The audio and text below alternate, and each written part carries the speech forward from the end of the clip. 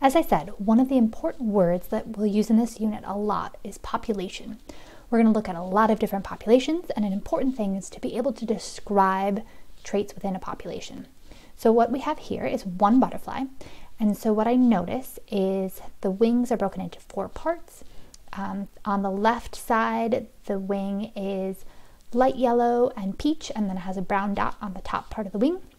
The right wing is much darker, so the bottom is a darker yellow, the top is a darker peach, um, and then there's that thick brown edge on the top right wing, and instead of having a brown dot, it has a blue dot.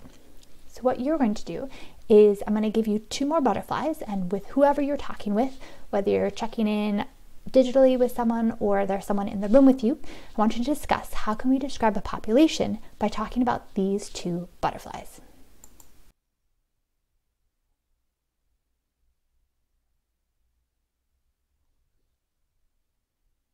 What did you notice about these butterflies? What similarities and what differences did you notice in this population? This leads us to our second important word of the unit, trait. Trait is a specific characteristic of an individual organism. So when we look at these butterflies and we look at their wing color, each individual has its trait. Some of them have solid pale yellow, some of them have a solid darker yellow, and some of them have yellow and brown. And those are the traits of the individuals in this population.